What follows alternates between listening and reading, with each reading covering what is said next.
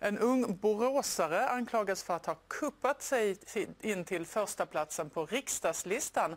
Men eh, trots att han inte brutit mot stadgarna så har partistyrelsen på riksnivå startat en utredning om att utesluta honom.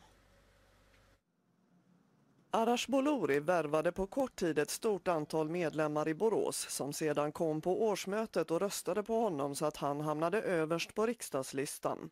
En kupp, säger kritikerna. Helt enligt stadgarna, säger han själv. Kanske det går emot eh, svensk eh, föreningskultur men eh, Miljöpartiet är ju ett parti med eh, mångfald och det, vi måste kunna bemöta nya kulturer och deras normer. Annars eh, bidrar vi mer till utanförskapet.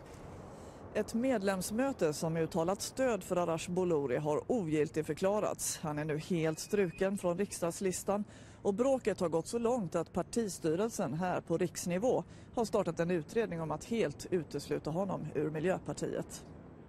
Vi pratar inte öppet om grunderna för uteslutning förrän vi har fattat beslutet om det blir en uteslutning eller inte.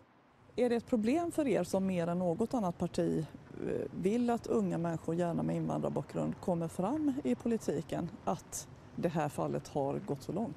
Jag tycker alltid att det är ett bekymmer för oss i partiet när vi måste titta på eh, och utreda uteslutningsärenden. Det, det är aldrig roligt.